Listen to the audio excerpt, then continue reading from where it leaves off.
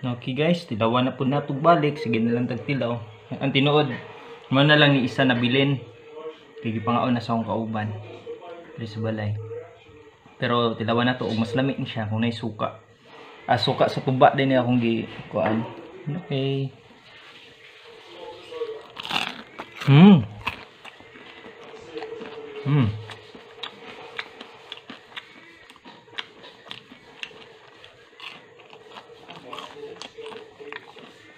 Hmm. Lasa siyang baka. Lasa siyang alimango. Sila sa bato. Basta na nadrita ng lasa. So layo bitaw niyo guys. Lami yun kayo. Napakasarap talaga. Subukan nyo. At huwag nyo kalimutan na mag-subscribe sa YouTube channel ko para mag-update kayo sa bagong release ng mga cooking menu na i-share ko sa inyo. Okay, salamat. Sharks have an extraordinary ability to pick up scent, but in such an immensity of water, charming almost seems futile. Gabi ako, ano? Ang nakuha.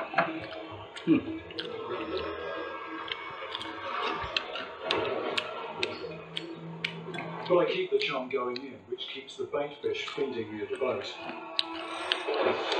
Then I Hmm. get a faint movement on the line.